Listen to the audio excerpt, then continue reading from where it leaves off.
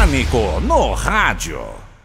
Olha, eu tô num projeto super legal, é, super legal, que eu vou, não dei entrevista sobre, sobre esse projeto ainda. Eu assinei, Emílio, um contrato com Stan Lee.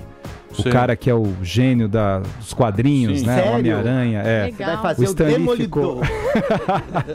O Stan Lee, ele, ele tem um projeto do ano que vem lançar um filme sobre a Amazônia, né? É um Rei Leão agora amazônico, com super-heróis amazônicos. E tem um, um produtor chamado Frederico Lapenda, que é um brasileiro que mora há 30 anos lá, e eles juntos ficaram um ano para escolher um escritor brasileiro para escrever a história. E, e de- eu fui escolhido para isso. Foi uma, uma surpresa, um presente para mim, porque ser parceiro do Stan Lee. E eu fui para os Estados Unidos, né? Fiz o argumento, ele aprovou, fiz a história inteira. Os super-heróis está pronto. O livro sai em março, é, no mundo todo.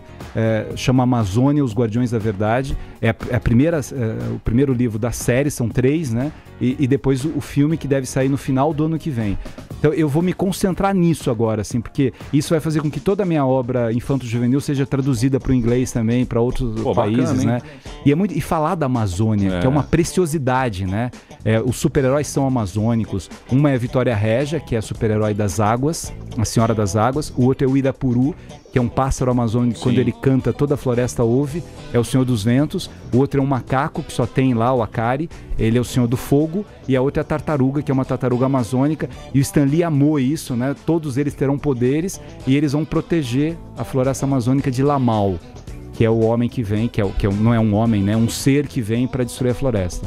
Então eu tô nesse projeto, continuo dando aula, né? Lançamento de livro e tal. É, tá mal, né? Tá mal. Stanley. Tá bem, Ah, Stan eu num Lee. projeto com o Stanley. É, os Dória te chamar. Poxa, Emílio, sabe uma coisinha só legal do Stanley? O Stanley tem 93 Sim, anos, né? sim. É, e, e a gente conversou muito. Eu fiquei lá uma semana com ele. Ele queria saber como é que eu virei escritor. É incrível a cabeça dele.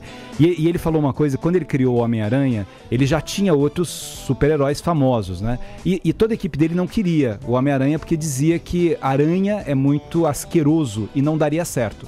E ele falou que ficou um ano naquilo na cabeça. Ele ia dormir e pensava: Spider-Man, o nome é bom, vai dar certo. E não deixavam. E aí faziam pesquisa pra mostrar pra ele. Aí ele chegou um dia, ele falou: vai acabar essa revista mesmo da Marvel, eu vou fazer uma historinha pequenininha do Homem-Aranha.